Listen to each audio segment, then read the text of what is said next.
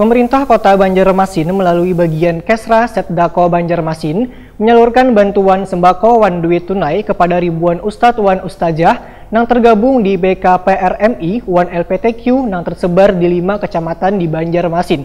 Bantuan ini diharapkan dapat meringankan beban bubuhan ustadz wan ustazah di Banjarmasin.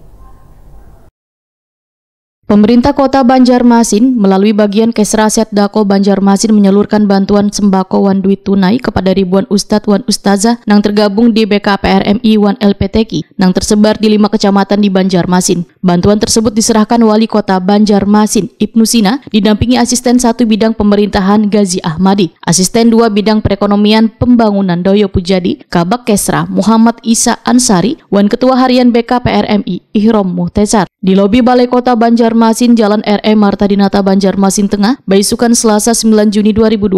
Wali Kota Banjarmasin Ibnu Sina, Wetakoni Prima TV menyatakan bila bubuan Ustadz Wan Ustazah ini sudah lawas kadang memiliki kegiatan dikarenakan pembatasan sosial yang dilaksanakan oleh pemerintah Kota Banjarmasin, sehingga sangat mempengaruhi perekonomian mereka. Ketua Gugus Tugas Percepatan Penanganan COVID-19 Banjarmasin ini pun menegaskan ada sebanyak 1.256 Ustadz Wan Ustazah yang menerima bantuan paket sembako Wan Duit tunai Rp250.000 per orang. Bantuan ini diharapkan dapat meringankan beban beban Ustadz Wan Ustazah di Banjarmasin.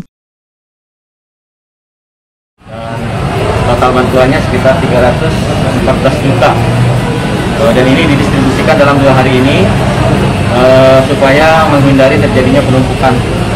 Uh, kalau seribu orang kemudian di lima kecamatan.